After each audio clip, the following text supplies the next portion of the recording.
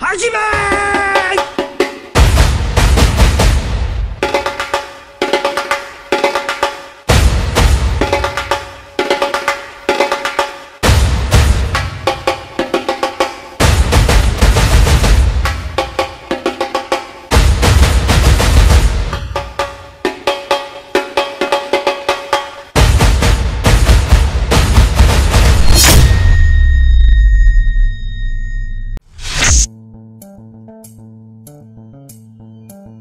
Alright, another Shawn Francis vlog. I kind of almost stopped making these because they don't get a ton of views. And then all of a sudden I get an email from somebody who's uh, been helped by one of these, and I'm like, I don't even care about the views. If it's helping one kid or one adult or one parent, then I'm gonna keep making them. this one will actually, this one's actually really good. It'll help you not only with depression or anxiety stuff, but it will help you with your sports psychology type stuff too. So let's talk about ants.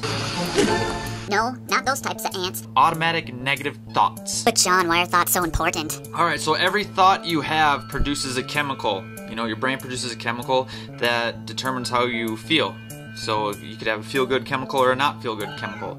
Negative thoughts increase limbic system activity. And the limbic system is a part of your brain uh, that develops uh, thoughts and emotions. Let's, let's do this a little simpler. So, in your limbic system, you have the flight or fight response. So, what happens in your flight or fight response or your sympathetic nervous system? Someone's trying to shoot you with a gun, you can have that fight or fight response, and you just don't feel good. Like your muscles can get tense, or your stomach stops functioning. You know, you can get an upset stomach. Your pupils dilate. Um, your throat might feel like it's closing off. These are all kind of due to what's happening in the limbic system. On the opposite side of that, the parasympathetic nerv- nervous system is also known as the rest and digest. Your heart rate drops, it slows down a little bit, you're more relaxed. So your saliva will increase.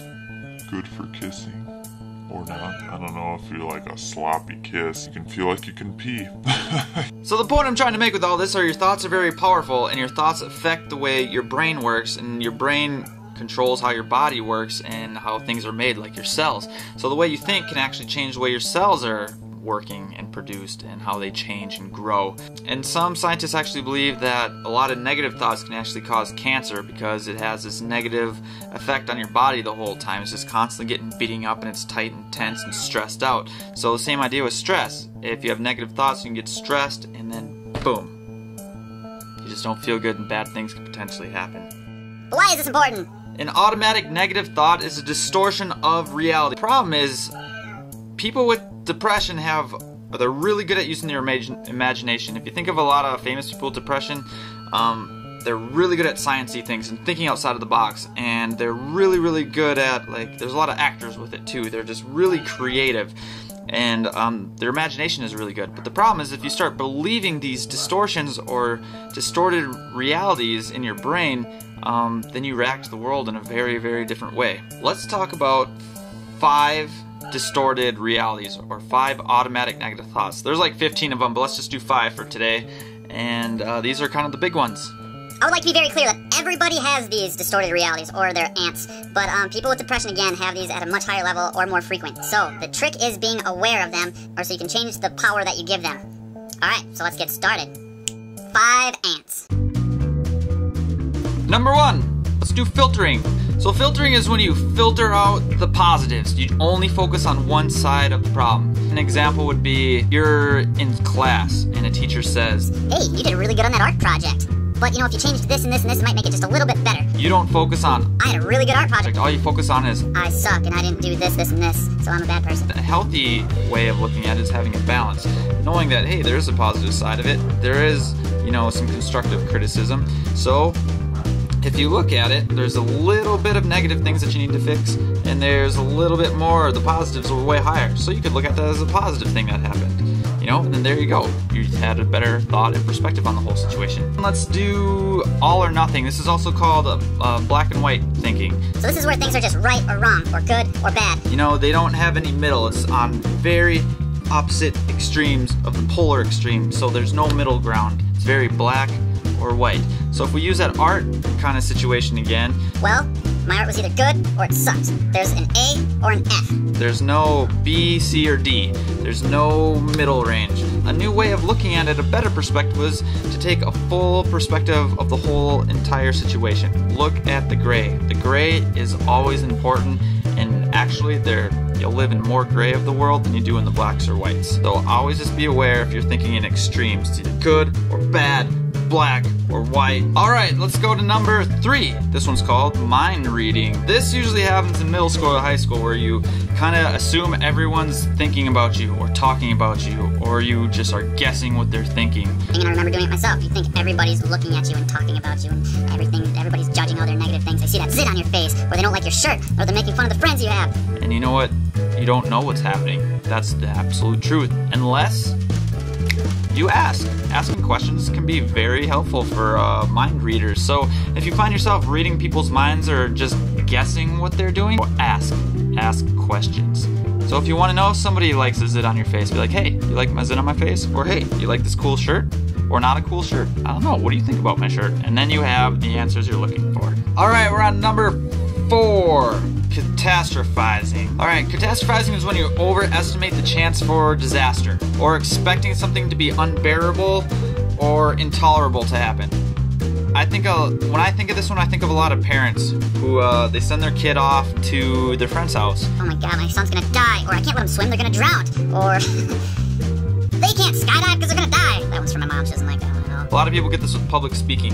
Um, so they might say something like, I'm gonna stutter all over my words, and then everyone's gonna hate me, and nobody's gonna like anything I do, and everything's gonna suck. That's probably not what's going to happen. You're going to start over your words. And no one's going to think anything of it. Um, you can kind of understand that that's just one of the many possible things that can happen, and you're looking at all the negative sides of things. So if you can look at the positive things like, Hey, your son might learn how to swim instead of drown, or your son might skydive and find a new meaning and love for life.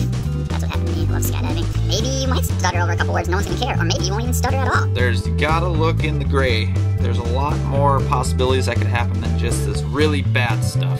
That's catastrophizing. All right, last but not least for today, I will do the other 10 down the road, possibly. But let's do emotional reasoning.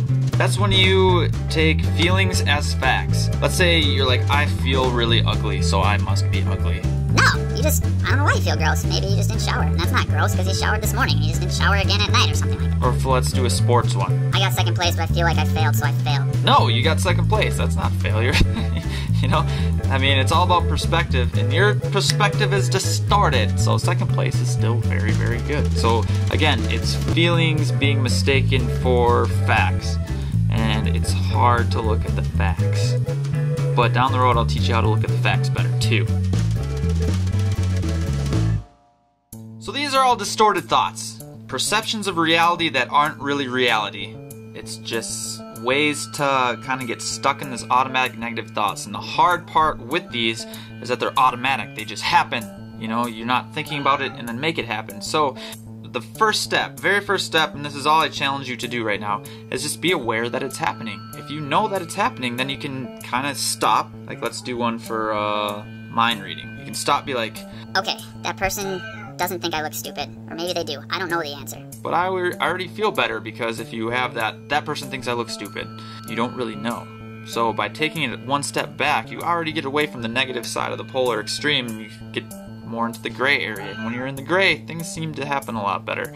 So you can start to think like, I'm gonna ask them if they think I look stupid. And then you can ask them, and if they say no, then it's a no. And if they say yes, then maybe it looks stupid, but at least you have the answer. So, so that's kind of how it goes. So, like I always say in these, if you guys are suffering from depression or anxiety or anything like that, um, I am here.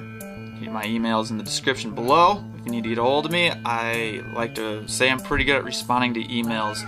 Um, and I will be there to help you. And if I don't have an answer and I can help you, I will point you in the right direction. I've been doing this for like 20 years, so I have a lot of directions I could point you. And depression is a stigma, so it's not bad to talk about it. It's just like if somebody fell into a hole and uh, you'd probably help them out of that hole. That's how depression should be. Instead of, right now it seems to be like if you see somebody in a hole, they walk by and be Like, what an idiot for falling in the hole. that's not very cool. You know, I don't agree with that. That's why I'm talking about it a lot and hopefully trying to make some changes. Next week, I'll try and make a pole vault vlog or, you know, a question and answers vlog. I have no idea. We'll see what I come or try and do. I got a new computer, so I gotta hook it up and get all the software on it so I can do way cooler things like make fire come out of my hands. Kind of want to be able to do that. Thanks for watching. Share these with people who might, who you think they might be able to help. All right, love you guys. Bye. Let's use this graph as an example. Your thoughts affect your feelings and behavior. Your feelings affect your thoughts and behavior. Your actions or behavior affect your thoughts and your feelings. So it creates this perfect circle. I hate this graph because it only goes one way. Let's use this triangle instead because I like triangles more. Creates a perfect triangle. Where your thoughts affect your feelings, and your feelings affect your actions, and your actions. But Shawn, that doesn't make any sense. I don't even know what you're talking about. Can you give me some examples?